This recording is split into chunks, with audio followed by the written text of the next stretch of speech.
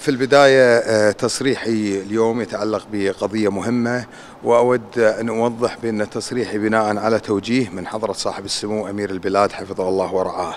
فيما يتعلق في قضية البدون آه، أود أن أوضح الحقائق التالية.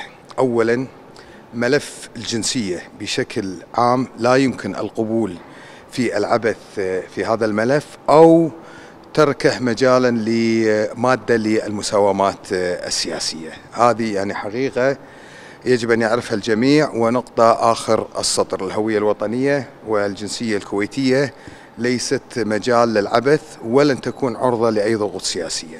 النقطة الثانية فيما يتعلق في موضوع آه، قضية البدون أو المقيمين بصورة غير قانونية في آه، دولة الكويت. كما ذكرت سابقا في عدة لقاءات تلفزيونية بأن خلال الصيف سيكون هناك حل جذري إن شاء الله.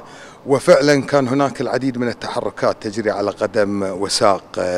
لم تظهر للعلن لزيادة فرصة نجاحها وللمحافظة عليها من آه، من يتحاول أن آه، يسترزق أو يستعرض على آه، هذا الملف. إنما أستطيع أن أقول لكم بأن إن شاء الله خلال الصيف سيكون هناك حل جذري وشامل وعادل لهذه القضية لا يمس الجنسية والهوية الوطنية ويراعي بشكل كامل وجذري الجوانب الإنسانية للمقيمين بصورة غير قانونية في دولة الكويت. وسيبدأ بالتأكيد بتشريع يصادق عليه مجلس الأمة. أما في بداية دور الانعقاد القادم أو نحتاج الأمر في دورة طارئة. لن أتحدث أو أكشف العديد من التفاصيل لأن هناك الكثير من النقاط آه، يجري حولها حوارات عديدة.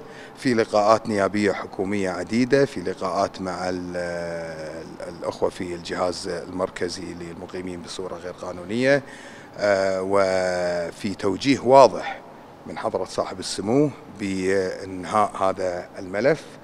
آه، وإن شاء الله يعني ما ينتهي الصيف إلا هذا الملف منتهي بحل شامل وعادل وأتمنى من جميع الأطراف إن شاء الله آه، التعاون لتسكير هذا الملف.